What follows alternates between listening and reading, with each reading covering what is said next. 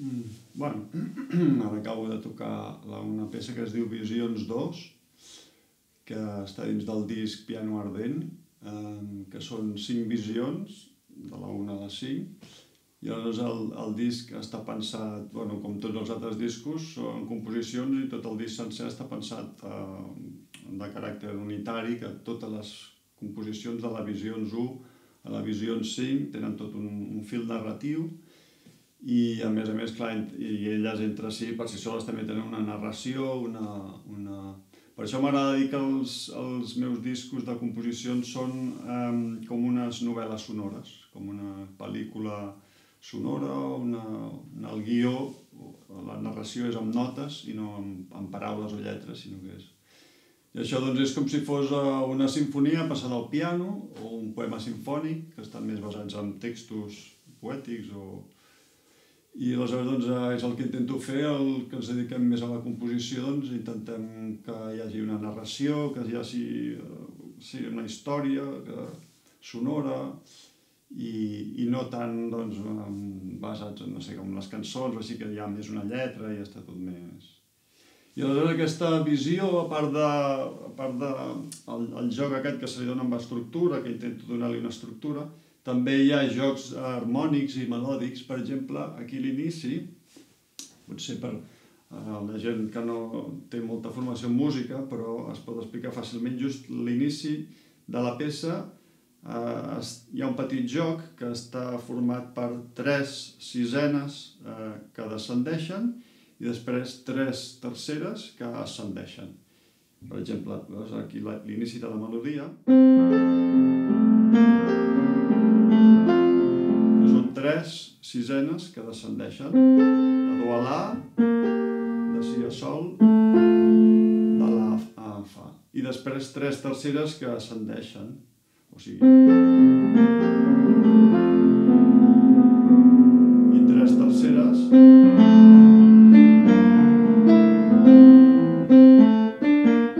tres terceres. Bueno, són petits jocs que, que es poden fer amb harmonia i això. I després en la segona part de la peça eh, també m'agrada jugar una mica amb els acords i en tota la segona part de la peça no hi apareix pràcticament més que al final no hi apareix eh, l'acord eh, important que és l'acord de tònica, que és l'acord de repòs, normalment és l'acord amb què comença una peça i quasi sempre és l'acord en què acaba la peça, que és un acord de repòs, l'acord de tònica és el més important. I pràcticament en tota la segona part no apareix eh, l'acord de tònica i això li dona a la peça doncs, una sensació eh, d'inestabilitat o de que no acaba d'arribar mai en el seu, en el seu. I m'agrada jugar una mica amb, amb, amb les harmonies i això i trobar-li aquest, aquests matisos i aquests jocs que són interessants per l'oient.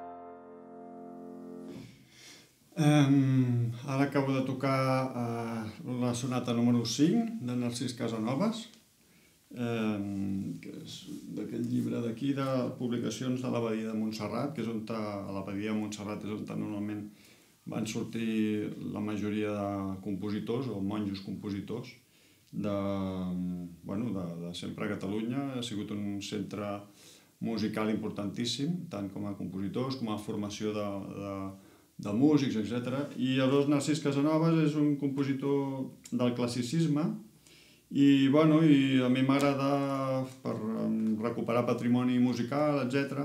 M'agrada recuperar antics compositors que, dels que quasi no s'hagi eh, enregistrat eh, eh, sonates o, o sigui que tinguin obra desconeguda, vaja, perquè sonates d'Scarlatti, de, hi ha posteriorment les de Mozart, etc etc. Són maquíssimes, evidentment, però m'interessava doncs, recuperar patrimoni musical doncs, que no s'hagi enregistrat i que sigui absolutament desconegut o quasi desconegut. I aleshores doncs, ara estic preparant el tercer disc de, de sonates eh, catalanes i, bueno, i aquesta era una mostra de, de la sonata número 5 de Narcís Casanovas. Després hi ha altres sonates.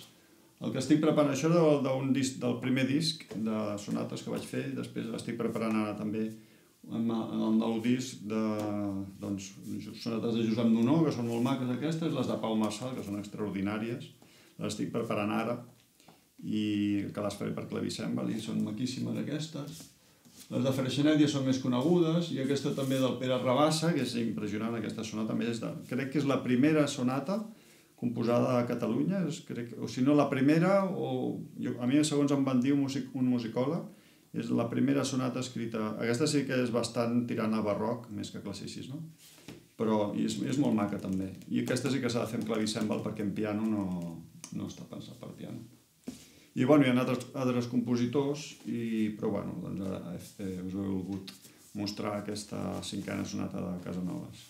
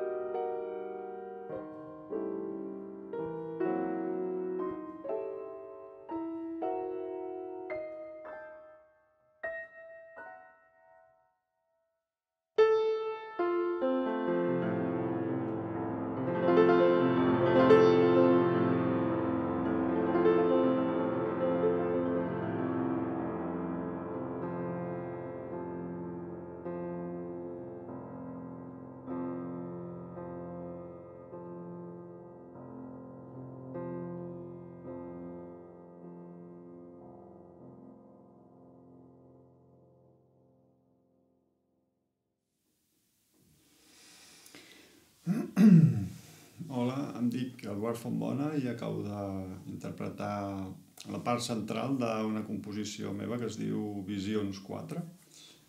I mm, aleshores aquesta peça, eh, bueno, aquest, aquest fragment sobretot, que després també es desenvolupa i tot això, eh, es consta bàsicament està format per eh, dues escales eh, i aleshores les combino entre si, primer una, després l'altra, i perquè no es noti un canvi eh, molt radical entre una i l'altra, eh, mm, hi poso un acord comú entre les dues escales perquè, el, el, perquè sigui més suau la, el canvi. Aleshores, per exemple, eh, la, una de les escales que, amb la que començo és la, una escala... És una escala disminuïda, que té els acords, té aquestes notes en comú amb aquesta altra escala.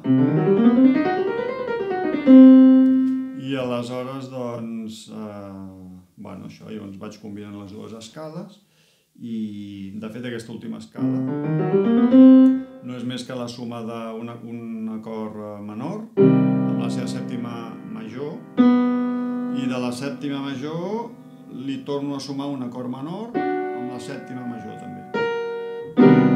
De manera que surten, sumant totes les notes, surt aquesta... es forma aquesta escala. I aleshores la combino amb l'altra, amb l'acord comú, i, bueno, i després l'estructura i la narració continua per una altra banda, etc etc.